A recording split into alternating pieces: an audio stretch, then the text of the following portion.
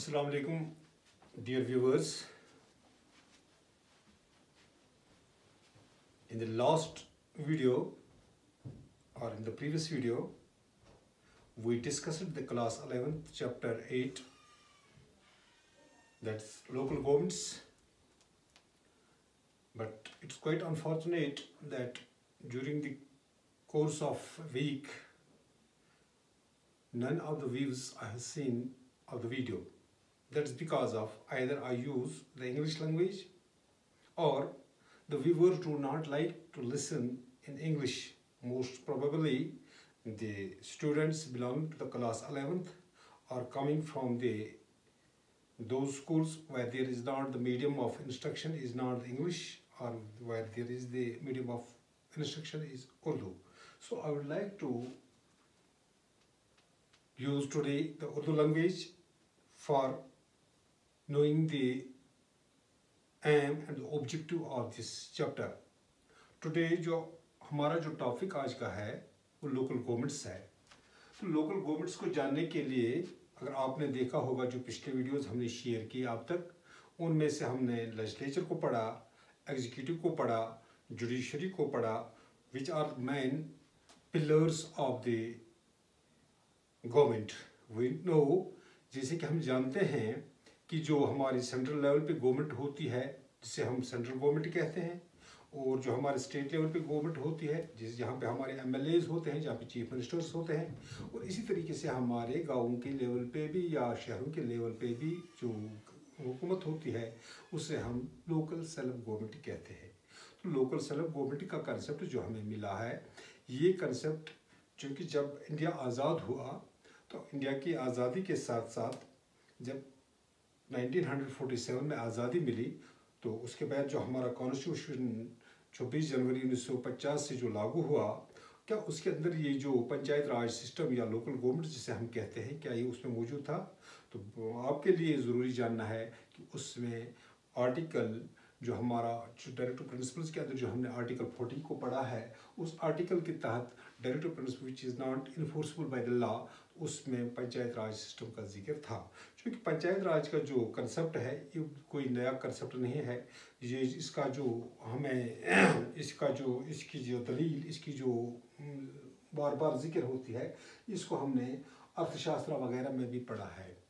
تو وہاں پہ یعنی پنچایت راج کا سسٹم پہلے سے ہندوستان میں موجود تھا۔ لیکن آزادی کے بعد انیس سو ستاون میں ایک کمیٹی بنی، جس کمیٹی کا نام بلونت رائے مہتا کمیٹی تھا۔ اس کمیٹی نے ایک تھری ٹائر سسٹم کو منظوری دی ریکمنڈیشنز اس کے بارے میں کی۔ ان ریکمنڈیشنز ان سفارشات کی وجہ سے آج بھی ہمارے پاس جو پنچایت راج کا سسٹم ہے۔ چونکہ پنچایت راج سسٹم میں جو ہمارے گاؤں کے لوگ ہیں، ان کے لیے پنچایت راج سسٹم ہے اور جو ہمارے شہروں کے لوگ ہیں جو ہمارے اربن ایریاز ہیں، وہاں پہ ہماری میونسپل کمیٹیز اور میونسپل کارپوریشن جو بڑے بڑے شہر ہوتے ہیں، ان میں میونسپل کارپوریشنز ہوتے ہیں۔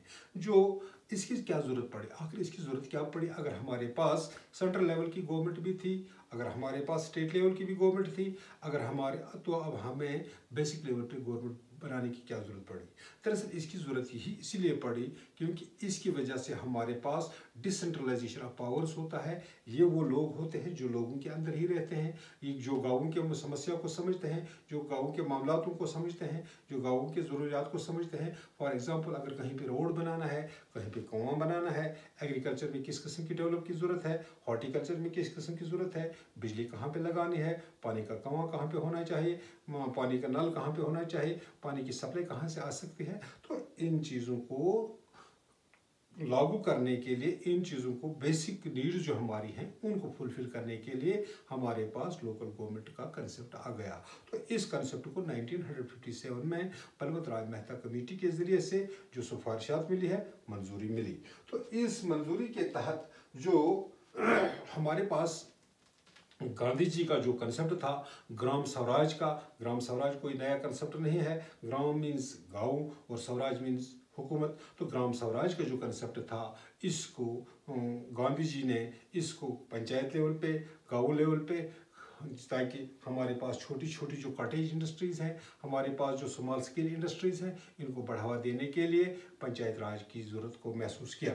تو اس کو جو عملی جامہ پہنایا گیا، تو سب سے پہلے جو انگریز جو اس وقت ہمارے پاس جو لارڈ رپن تھا، تو لارڈ رپن نے پہلی دفعہ اس پر گرام سوراج کو ایکنالج کیا اور اس کی منظوری دی۔ تو اس کے ساتھ ساتھ یہ بہت پہلے کی بات تھی، تو اس وجہ سے جو پہلا ہی پہلے سے جو ہمارے پاس یہ جو کنسپٹ موجود تھا، اس کنسپٹ کو آگے آگے بڑھانے کے لیے، گاؤں کی ترقی کو آگے لے جانے کے لیے یہ کنسپٹ آگے بڑھا۔ تو اس کے ساتھ ساتھ جو ہمارے پاس جب، جو تھری ٹائر سسٹم کی جو سفارش کی گئی اور اس کو جب لاگو کیا گیا، تو سب سے پہلے جو اسٹیٹ نے نائنٹین ہنڈریڈ ففٹی نائن میں اس کو لاگو کیا، وہ ہماری راجستھان کی اسٹیٹ تھی، جہاں پہ سب سے پہلے یہ لاگو ہوا۔ تو اس کے بعد آندھرا پردیش میں اس کو کہا، لے جایا گیا۔ اب ہر ایک اسٹیٹ اپنے طریقے سے اس کنسپٹ کو، اس لوکل گورنمنٹ کو خود بخود چلاتی تھی اور خود بخود الیکشنز کراتے تھے اور اس کا جو ٹرم ہوتا تھا، پانچ سال کا ہوتا تھا۔ تو اب اس طریقے سے یہ یونیفائڈ نہیں تھا۔ لیکن اس کی وجہ اب اس کی ضرورت کو محسوس کیا گیا کہ یہ تھری ٹائر سسٹم جو ہے، اس تھری ٹائر سسٹم میں کیا ہر ایک چیز جو ہے یونیفائڈ ہونا چاہیے، اس میں جو یونائٹڈ ہونا چاہیے، یہ پوری لیول پہ انٹیگریٹڈ سسٹم ہونا چاہیے۔ تو اس کی وجہ سے یہ جو تھری ٹائر سسٹم ہے، اس کے لیے ایک ترمیم یعنی ایک امینڈمنٹ کو منظوری دی گئی۔ اور یہ منظوری اس ترمیم کو which is known generally as seventy third amendment it came into being in the year nineteen hundred ninety two اس کے اندر، اس کے لیے چونکہ پہلے سے جو میں نے آپ کو کہا آرٹیکل چالیس کے تحت اس کا ذکر آیا تھا، اب اس کے لیے ایک نئے آرٹیکلز نئے شیڈولز اور نئے جو پارٹس ہیں، ان کو، ان کی منظوری دی گئی۔ اب جو ہمارا یہ local government panchayat raj system جو ہمارا ہے، یہ ہمارے پارٹ نائن میں آتا ہے اور شیڈول الیون کے اندر آتا ہے اور نائنٹین تھرڈ امنڈمنٹ کے بعد اب پنچایت راج سسٹم پوری کنٹری کے اندر، پوری انڈیا کے اندر سیم طرز کا ہے۔ یعنی اب سرپنچ کا الیکشن کیسے ہوگا اور تھری ٹائر سسٹم جو ہے، سب سے اوپر کا لیول جو ہے ضلع پریشد۔ ضلع پریشد کے معنی سیدھے ہی جو ہماری ڈسٹرکٹ لیول کی کمیٹی ہوگی، وہاں پہ جو ہمارے ڈسٹرکٹ ڈیولپمنٹ آفیسر ہوتے ہیں یا جس سے ہم ڈپٹی کمشنر کہتے ہیں، وہ اس کو پرزائڈ اوور کرتے ہیں اور اس کے اندر جو اس پورے علاقے کے، پورے ڈسٹرکٹ کے جتنے بھی ایم ایل ایز ہوتے ہیں، ایم ایل سیز ہوتے ہیں جو ہمارے یہاں پہ پنچایت راج کے ممبرس ہوتے ہیں، جو ہمارے سرپنچ ہوتے ہیں، وہ اس کے ممبر ہوتے ہیں۔ اور جو بھی کوئی بجٹ جو بھی اسٹیمیشن ہوتا ہے، جو پورے بجٹ کا اسٹیمیشن ہوتا ہے، تو یہاں پہ کیا جاتا ہے۔ اس کے نیچے جو نیا ٹائر آ جاتا ہے، دوسرا ٹائر آ جاتا ہے، یا جسے ہم انٹرمیڈیٹ کہتے ہیں، یا جسے ہم ایک برج کے طور پہ استعمال کرتے ہیں which is known as which is known as panchayat samiti, اور sometimes we call that mandal level parishad یہ جو منڈل لیول پارشد ہوتا ہے، یہ بلاک لیول سمیتی ہوتی ہے، اس کا جو چیئر پرسن ہوتا ہے، اس کو گاؤں کی سرپنچ منتخب کرتے ہیں۔ اور جب وہ اس کے لیے جو ٹرمز وغیرہ ہیں، وہ بھی سیم ہے وہ کیسے بنتا ہے، اس کے لیے جو سرپنچ وغیرہ ہوتا ہے، وہ ان کا الیکٹورل کالج ہوتا ہے۔ اور وہی جو پنچ ہمارے ہوتے ہیں، وہ بھی ان کا الیکٹورل کالج ہوتا ہے۔ تو اس کو بلاک لیول پہ جو ہمارا بلاک ڈیولپمنٹ آفیسر ہوتا ہے، اس کی نگرانی میں جتنے بھی کام ہوتے ہیں رورل ایریا کو امپروو کرنے کے لیے رورل ایریا میں جو نئی نئی چیزیں، جو انٹروڈیوس کرنے ہوتے ہیں اس میں، یا جیسے اس کا ریونیو کیسے آ جائے گا، اس کا گرانٹ اس کا ایڈ کہاں سے آ جائے گا ٹیکسز کا کس کس چیز سے وصول کیے جائیں گے، کہاں پہ کس روڈ کی ضرورت ہے، تو یہ ساری چیزیں جو ویڈیو دیکھتا ہے اور اس کے ساتھ ساتھ میں جو پبلک کا نمائندہ ہوتا ہے، وہ پبلک کا نمائندہ ان کے ساتھ، جسے ہم بلاک ڈیولپمنٹ چیئرمین کہتے ہیں، اس کے ساتھ ساتھ شانہ بشانہ کام کرتا ہے تاکہ وہ لوگوں کے جو کام کاج ہیں لوگوں کے جو ضروریات ہیں ان کو فلفل کریں۔ اور بیسک لیول پہ جو ہمارے اس کا ایک اور یونٹ ہوتا ہے، جو فرسٹ ٹائر ہوتا ہے، اسے ہم پنچایت کہتے ہیں۔ اس پنچایت کو چننے کے لیے گرام سبھا ہوتی ہے۔ گرام سبھا کوئی نئی چیز نہیں ہے۔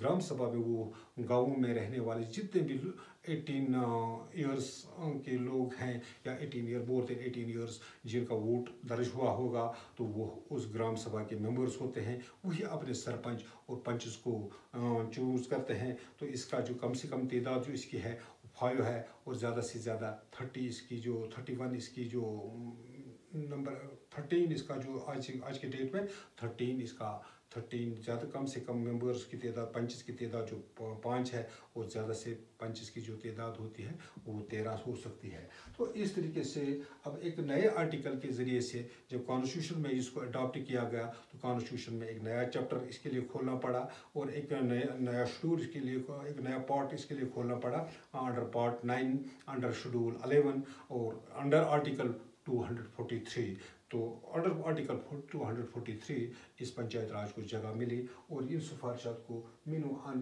لاگو کیا گیا اور اب جو گاؤں کے لیول پہ جو گاؤں کا لیڈر ہوتا ہے اسے ہم سرپنچ کہتے ہیں اور اس کے جو ہر ایک وارڈ میں اس کے ہر ایک چھوٹے چھوٹے جو ان کی جو ہیبیٹیشنز ہوتی ہیں، ان ہیبیٹیشنز کے ریپرزنٹیٹیو جو ہوتے ہیں، ان کو ہم پنچ کہتے ہیں۔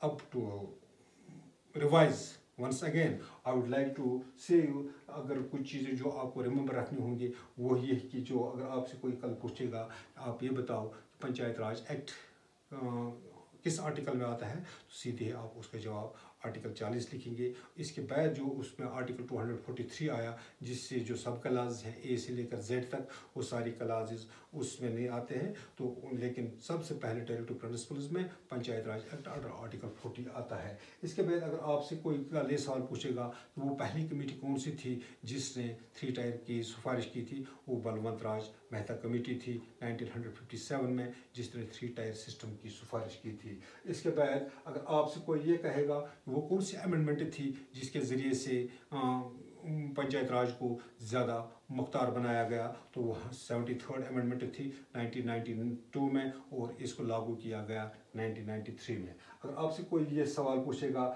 جو اس کا اوپری ٹائر ہے، اس کا نام کیا ہے، تو اس کو کون ہینڈل کرتا ہے؟ تو اس کا نام ضلع پریشد ہوتا ہے، جہاں پہ ہمارے ڈسٹرکٹ ڈیولپمنٹ آفیسر ہوتا ہے، جسے ہم ڈپٹی کمشنر بھی کہتے ہیں۔ وہی اس کو دیکھتا ہے اور M L A, M L Cs اور جو ہمارے پنچایت راج کے ممبرس ہوتے ہیں، وہ اس کے ممبرس ہوتے ہیں۔ تو اس کا جو انٹرمیڈیٹ ٹائر ہے، اس کو ہم پنچایت سمیتی کہتے ہیں، یا اس کو ہم، یا اس کو ہم دوسرا نام منڈل پریشد کہتے ہیں۔ تو یہ منڈل پریشد جو بلاک لیول پہ ہوتا ہے، جس کی نگرانی ویڈیو کرتا ہے، اور جو گاؤں کے لیول پہ اس کا سب سے نچلی سطح پہ جو سب سے اہم ٹائر ہوتا ہے، جسے ہم گرام پنچایت کہتے ہیں۔ تو گرام پنچایت کا لیڈر جو ہوتا ہے، وہ سرپنچ ہوتا ہے۔ اگر آپ سے کوئی کل یہ سوال پوچھے گا کہ وہ کون سا who is known as a father of the local self government تو آپ کا جواب لارڈ رپن ہونا چاہیے۔ اگر آپ سے کوئی یہ پوچھے گا کہ گرام سوراج کا کنسیپٹ کس نے دیا، تو آپ سیدھے اس کو کہیں گے، Mahatma Gandhi, Mohan Das Karam Chand Gandhi was founding father of the gram swaraj for India. This all about today's topic مجھے امید ہے کہ آپ یہ ٹاپک آج کا سنیں گے اور اس کی ویوز زیادہ آ جائیں گے۔ تو کل سے اگر مجھے زیادہ ویوز ملے، تو انشاءاللہ میں ہندی اور باقی مکسڈ بھاشا میں آپ کے لیے ویڈیوز تیار کروں گا۔ Thank you have a nice day